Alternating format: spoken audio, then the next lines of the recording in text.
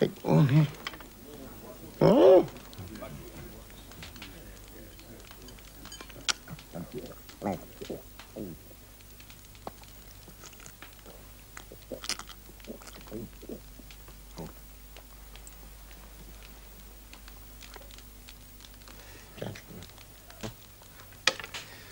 I am, in a manner of speaking, not. Well, Ask him to speak up. Yes. oh, gentlemen, gentlemen, you must forgive me. You see before you someone who feels it incumbent upon himself to hoard such pitiful remnants of his bodily strength as he still possesses. Indeed. Even as I begin, I am already overcome by anxiety lest I should be unable to conclude. It!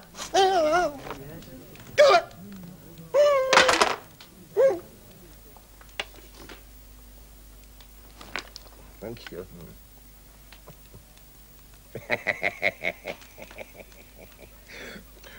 Let me say at once, of course, I am mad. Had you shared my experience, I'll wager that you too would now be unbalanced. All of you. The dreadful misfortune of my life began over 30 years ago while I was visiting the free port of Hamburg. Then as now a city of beauty and energy. Although its heart and soul had been ravaged by the great fire of 1842. As the younger son of an established Norwich coach builder, I had been sent to Hamburg by my father to negotiate the construction and sale of those canary yellow carriages which the leading burghers had found to be ideally suited as public conveyances. My host was the venerable Senator Otto Steckerbeck, an old friend of my father's. All the members of his charming family were courtesy itself. Always, for instance, choosing to speak English in my presence. And in all manners of ways, contriving to make the stranger feel welcome in their house. This was one of those characteristic old merchants' houses built along the narrow canals which link the river Elbe with that magnificent lake, the Alster. During the day, my hosts would show me the sights of the city.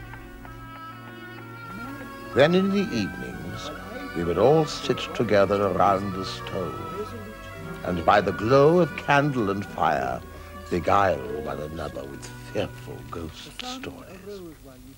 Nor had it escaped my observation, gentlemen, that my father's intent in sending me to Hamburg may not have been solely the interests of the family business. For I was 35 and still a bachelor, and I suspect that my father and Herr Steckerbeck hoped to connect me with Frau Steckerbeck's widowed cousin, Elise. Her wealthy husband, a shipbuilder, had perished in the great fire before poor Elise had even reached the tender age of 20. Oh, gentlemen, the passionate glances that would pass on those flickering nights between that lady, herself so long deprived of conjugal joys, and the no longer young bachelor who had never tasted them at all. Myself Thus we sat, with the Stakebecks usually imbibing mulled wine. I chose, as always, to abstain. It will be in vain to follow, for I shall learn no more of him nor of his deeds. Very good. Very good. It is an English writer? Oh, no, Madam, American. American? Ah. A red Indian. Felicitas! Tomorrow, Herr Nightingale, it will be your turn. Oh, but I'm afraid I know nothing suitable, Frau Stickerbeck. I am not versed. Then I shall lend you one of these. Let me see. Uh,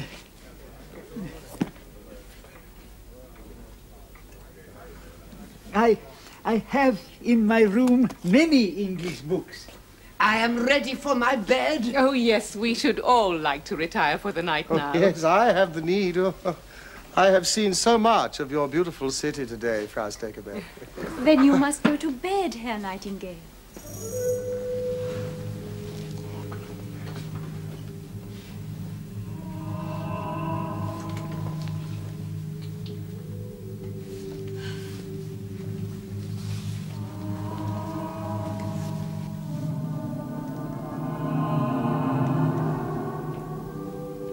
My hosts had once again amused themselves, unaware that their monstrous stories of ghosts and vampires had chilled me to the bone. Ever since my poor mother's untimely death, two obsessive fears haunted my life. The fear of loving and the fear of. How long before my spirit would succumb, crushed between these two monstrous pillars of dread. I knew that I could never hope to come to terms with the one fear unless I vanquished the other. In that house, in the alien city of Hamburg, I now dimly perceived my last chance to conquer the horror once and for all, lest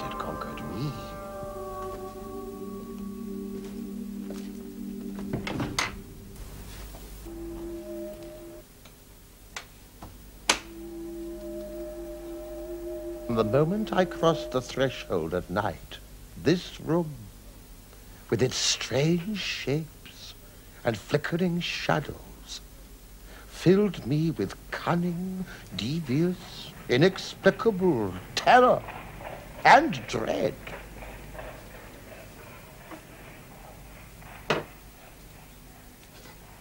I felt that I was never once alone in that room, that I was being watched, perhaps guarded or protected, possibly even menaced. But by whom?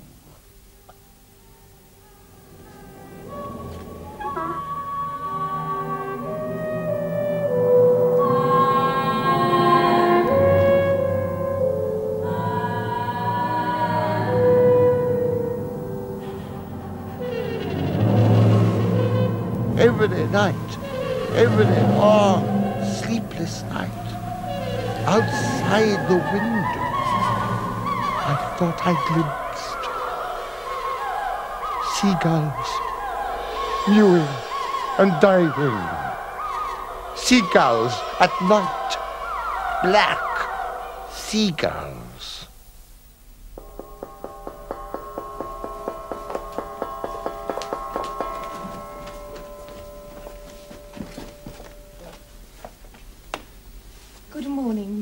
Nightingale. Good morning, Fraulein Felicitas.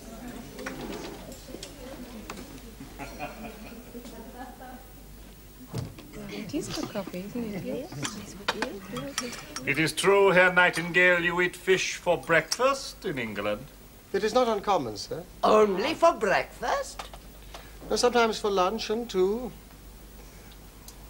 In some houses, on Fridays, usually. Ah, it is a religious practice. Well, in a manner of speaking, yes. Fish is also served for supper in England, surely? Yes, I have read that in Mr. Pepys' book. he is always supping on fish. yes, yes, indeed. Then you eat fish for breakfast, luncheon, and then again for supper. Three times a day you have it. Oh, no, you have mistaken me, Fraulein Felicitas.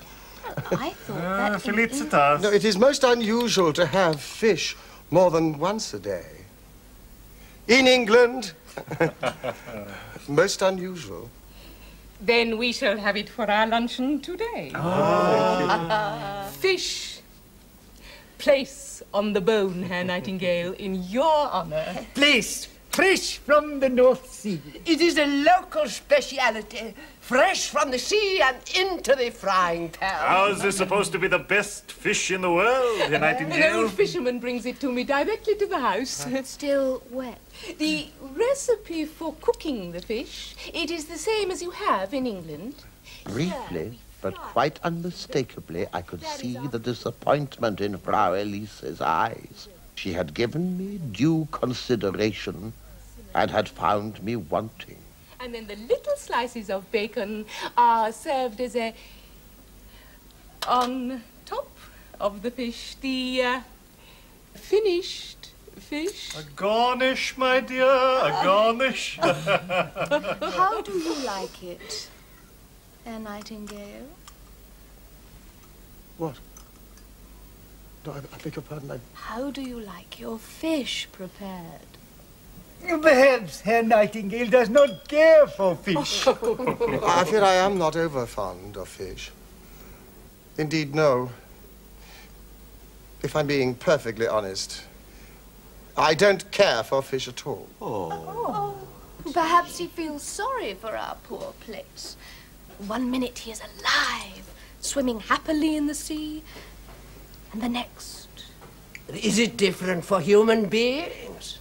One cannot ever be sure. In the midst of life. Ah, yes. the fire. Our fire, Herr Nightingale. Yes, our fire. From one moment to the next, death and extinction. Oh, yes, how true. I mean, one never can be sure of anything in this life. I mean, not even when one is going to die. And yet, I must admit that I've often thought how incredible, how marvelous it would be if one could know when. When. When.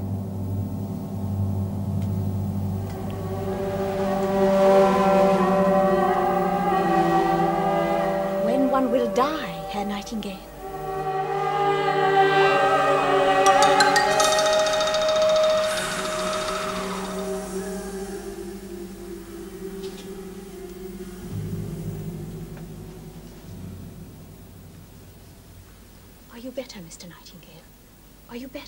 Yes, thank you. Yes. Uh, someone has just walked over your grave. Yes? It was nothing, sir, nothing. Do you wish for a glass of water? It really is a pity that I am not more fond of fish. It's a great pity indeed.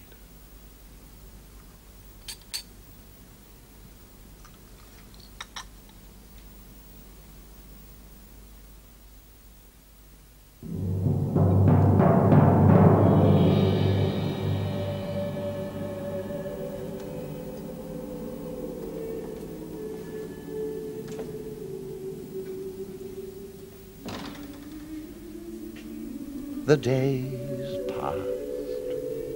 The Stakebecks became my friends. But at night, the secret solitary terrors seized me still. How I prayed and dreaded that Elise, or dare I admit it, even Felicitas would knock upon my door on some innocent pretext. Abominable thought. Was it for such speculations that my father had sent me here?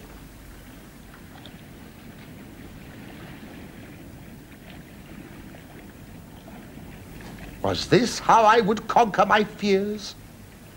I determined to take a sleeping draught and to pray to my mother for grace. What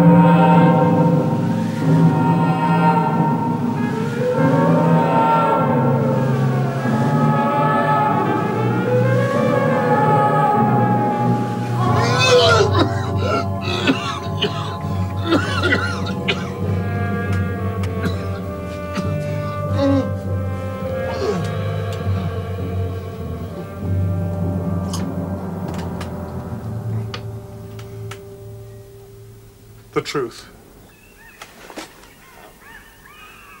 I want the truth. The truth. Oh, no, please. Help me. They're flying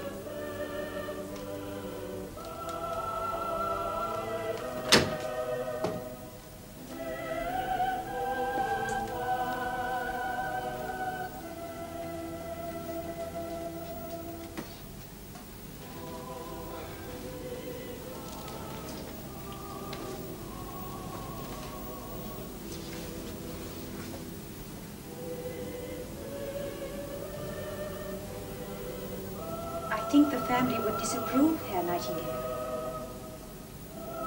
Because we have both decided, quite independently, not to go to evening service tonight, Frau Elise.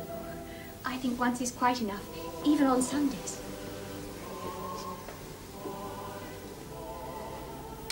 At home, I attend Mass. On Sundays. You are not a Lutheran, Mr. Nightingale.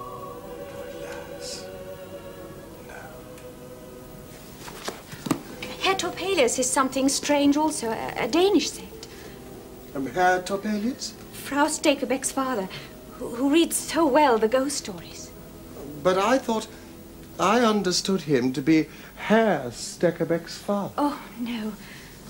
But old Frau Steckerbeck. Old Frau Stakebeck is Herr Stakebeck's mother, but Herr Topelius is Frau Stakebeck's father. It, it, it is somewhat confusing, perhaps. Yeah. They, they seem so much, so much like husband and wife. I, I thought, Old Frau Stakebeck and Herr Topelius, how they would laugh to hear themselves so described. They are certainly not married to each other. They are widowed. As we are. um, but Frau Elise, um, I am a bachelor. Yes, I, I Uh, single, Frau Elise. Single.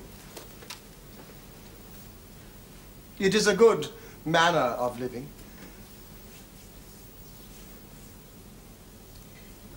Is it, Herr Nightingale?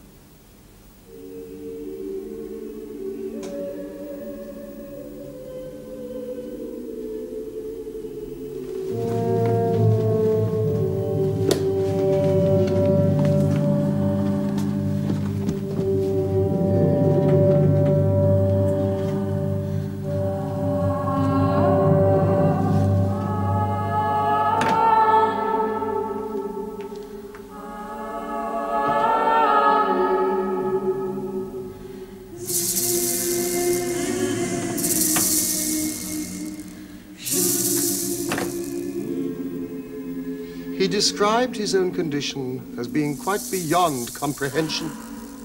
The most terrible anguish now mingled with a ravishing delight he had never experienced before. Suddenly, he was in the midst of a brightness so dazzling that it blinded him. But on awakening, he still felt the anguished dread of his dream. He instantly rushed into her room. Her hands, as she lay on the divan, were devoutly folded. She looked as if sleeping peacefully, dreaming of the joys of heaven.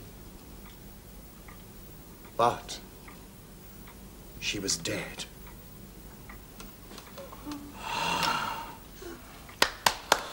A beautiful translation. That's sad. So sad. Sad? What nonsense. I didn't believe a word. Felicitas. Well, tonight I hope I shall not dream. But such ghastly things do not happen in Hamburg, my dear. Fortunately. I should hope not. Indeed, no. Herr Steckerbeck, Yes, could I, might I have a few words with you, sir, in private? but of course. Eh, Kom Aglaé. It is too Please. Yes. I have some regrettable news from Norwich, sir. Mr. Nightingale. Well, to come to the point at once, we cannot now manufacture the vehicles that you require. Ah, you mean something untoward has occurred in Norwich? Oh, not in Norwich, sir. It would doubtless be more correct to discuss matters of commerce at my Kontor, Herr Nightingale. Where are you, sir, are assisted by your own clerks and ledger keepers who offer you protection. Huh? Huh? Are you saying, Nightingale? Are you saying there is some irregularity in our accounts? That I, a senator, Yes. would ever act in an incorrect manner? Incorrect. Oh, sir. If I were not a guest in your house, I should express myself far more forcefully. I see you are drinking our grog, Herr Nightingale. Are you perhaps uh, unwell? Well, I'm perfectly well, sir. And in spite of your vicious insinuations, sober. Which is not a condition to be found too frequently among the members of your household, sir.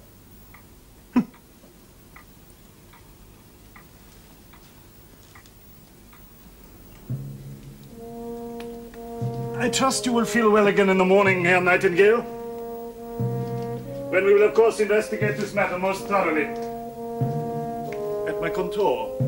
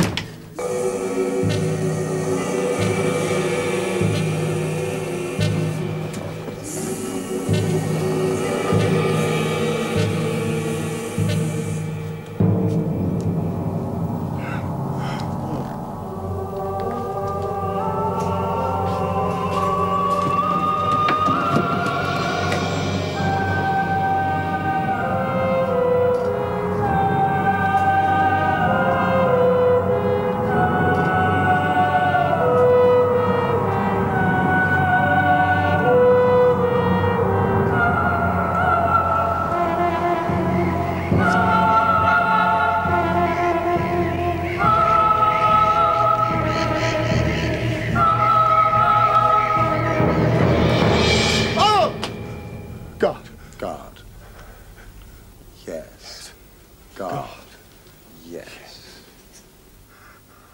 Help me to find it. Find it? The truth. The date. The date. Of my death. Death?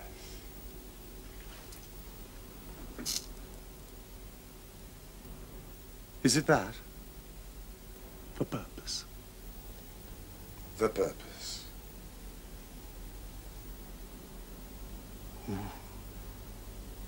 Oh. Oh. oh.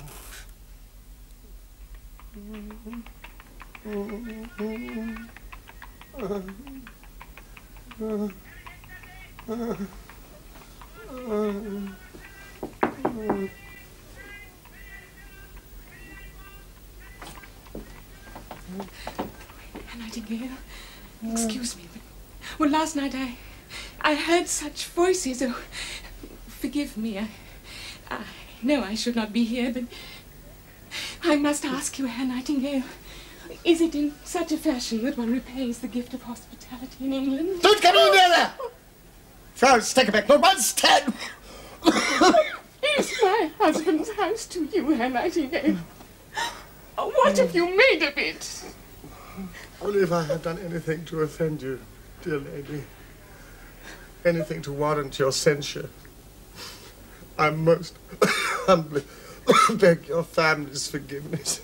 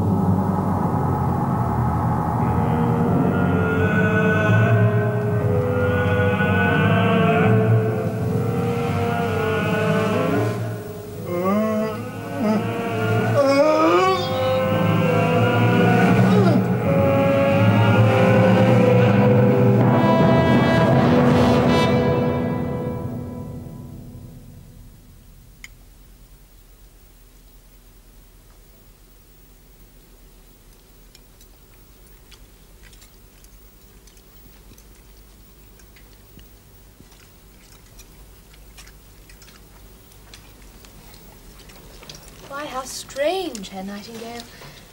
Did I imagine it? Did I hear you say you did not care for fish? I love fish. I like nothing better. It's so fresh, so firm, so flaky. Then I must be developing deafness or a faulty memory. Felicitas, bitte. Indeed. Indeed. For I heard you say quite distinctly on more than one occasion that you could not abide fish of any kind. Oh, I love fish. Of any kind. As I love life itself! Herr Nightingale is not feeling very well, Felicitas. Oh. Then shall you not be visiting Papa at his Kontor tomorrow morning? Our business is concluded. Or, if I may presume, to be perfectly honest, terminated. terminated! Herr Nightingale, I regret to say, will shortly be returning to England. What? I didn't know. I was not told. She was not told. What? So soon. And you have not even paid proper attention to our beautiful harbour. Oh, what neglect. That will never do. I must see it. Your beautiful harbor. Then do you wish that I shall be your guide? Are you expert in such things as harbors? Hmm. Very expert, Herr Nightingale. Then who would dare to resist? Felicitas. And who would dare to refuse such a delightful invitation? Tomorrow, then? No. Tonight. I'm more composed after supper. Excuse me. Do you know, I think I could consume another fish. Yes, I really think I could. Eine zweite Scholle! Dankeschön.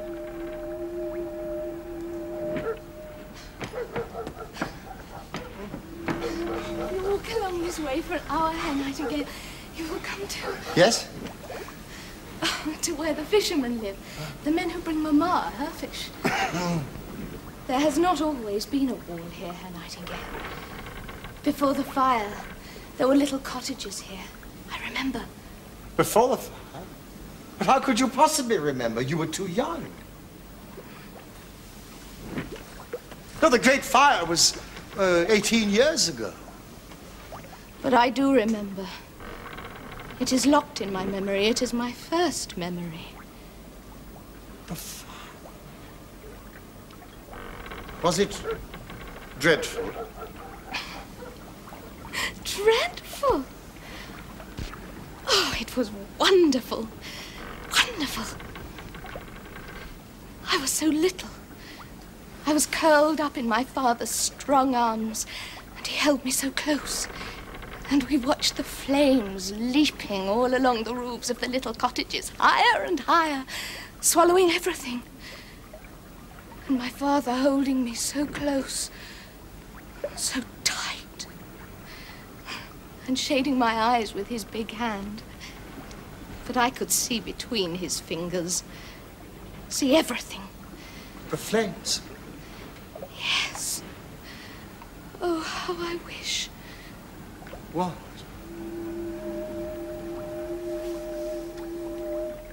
I want to see them again. I want them to come again. Just for me. Flames. Raging fires. There, look. Look. Those tall masts. Such an old and decrepit freighter. Useless and old. Older even than you. How the masts would crackle and burn. Like a ship in a bottle. Yes, like a ship in a bottle. The bottle in my room. Yes, that one in your room. We could watch them together. Burst into flames, burn all night. Burn. There was nothing but ashes. Burning and blazing. Oh, I want it too. I want it too.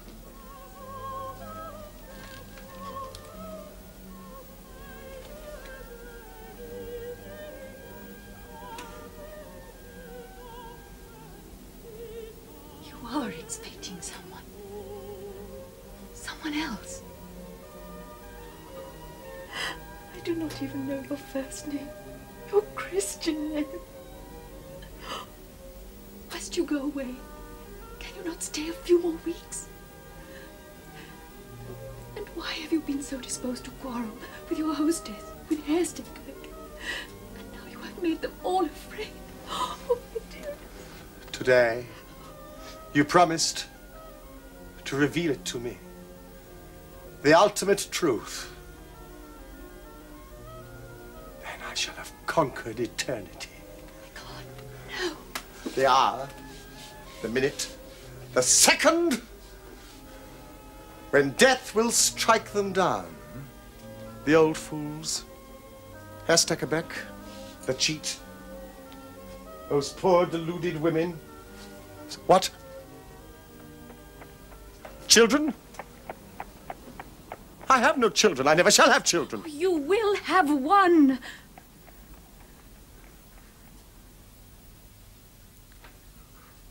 Who are you? The mother of your unborn child, my love.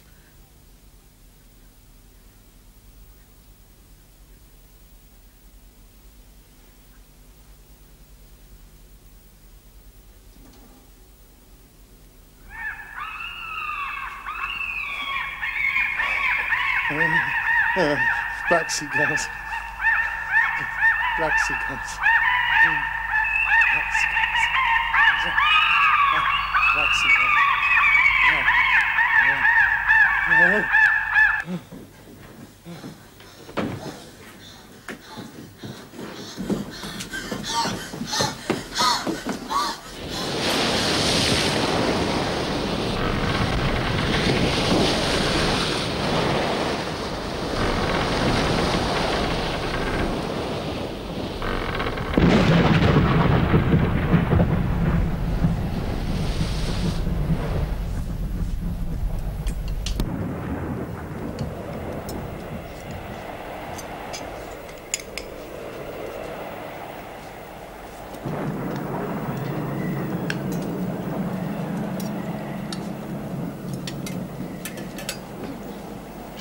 The omelette is excellent, Mama. Oh, thank you. Yes. Far more tasty than my own omelets. And more nutritious, too. The art of making omelets is very simple. Uh, my own dear mother. It is not an omelette. grandmother. It is not? It is not an omelette. What did he say? He says it is not an omelette, Mama. It is a pancake. A stuffed pancake. But Herr Nightingale... Oh, you look it up. Felicitas, fetch the cookery book, please. It is not important, surely. It is only an omelette. It is not an omelette, it is a pancake. And an overcooked pancake at that. There. Me, let me.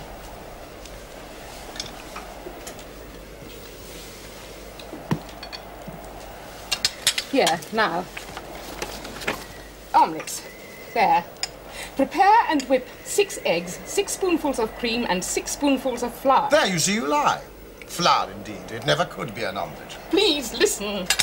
In another saucepan, boil together some skimmed sweetbread and add together with diced shallot and onion a free. It is a pancake. There is going to be a storm. A, a very bad storm, Herr Nightingale, like it was on the night of the fire. I recall it as though it were yesterday. All the old houses collapsed. They are not agreeable memories. Not agreeable. Or the fire. Or the stuffed pancake, which you were pleased to call an omelette. You malicious, deceitful people. Oh. The approach of death, perhaps. Is that more agreeable? Yes, why are you so afraid of it? Of death? It is no vice. It is not unspeakable. The Bible never ceases to speak of it. It is an adventure. It approaches. At any moment, it may strike. Please, my dear friend. Yes, your dear friend. Correct. And in my house, stop it, wanton. What? I cannot understand it. Why are they all so angry? Herr Nightingale. Yes, but surely you, you can understand, old woman. Can you not? What power it must give you if you can find the precise instant, that very moment, savor it, taste it, on the tip of the tongue, the moment of dying. No, make him cease. Herr Nightingale, I really must insist in And the presence of... can. And shall Go.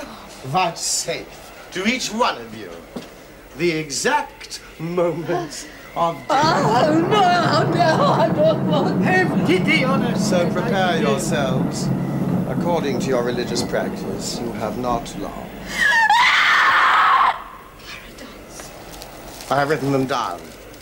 The dates. The hour when it will strike. When each one of you will be, without mercy, cut down.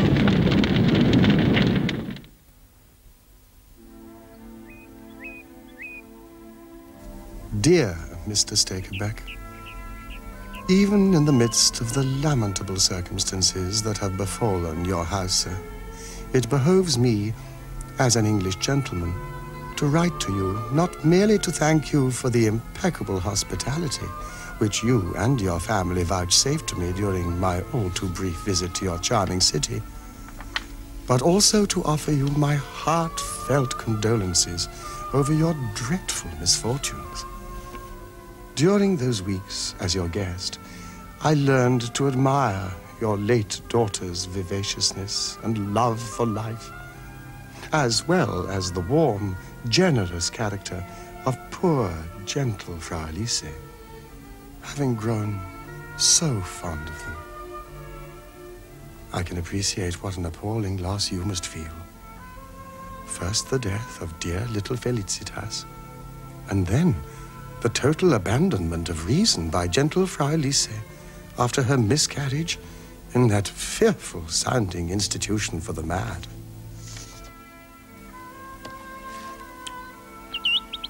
Will that do?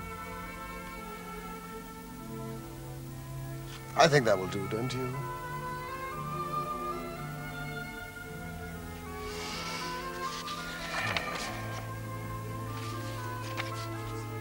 Should you ever imagine that I was in some small measure to blame for these tragic events, may I offer you my most humble and sincere apologies?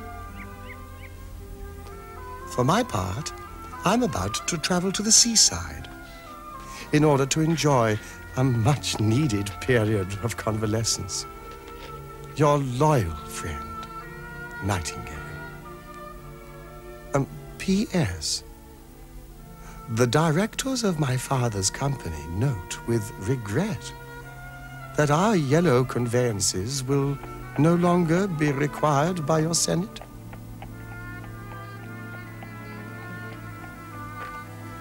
As you see, gentlemen, uh, now an old man, with few of the consolations of old age, to be elected a member of your august establishment would mean much to a lonely old soul. Sir, you are, by your own despicable account, a damned murderer. I, sir? If anyone was to blame for the death of young Felicitas in the fire... You were responsible for that. And responsible for the destruction of your own unborn child. And the insanity of that poor, wretched widow that you seduced. I say, if anyone was to blame, it was him. Him?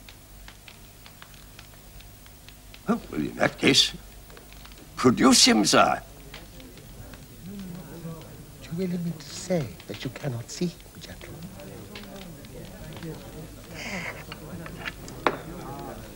He stands by that candelabra. As young and strong as he was that first night when he proffered his magic powers to me. in that room in Hamburg. While I have, as you perceive, grown old and frail.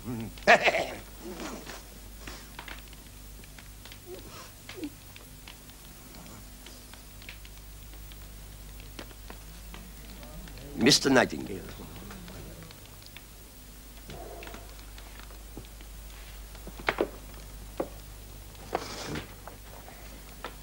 I regret to have to tell you that you have failed to satisfy us.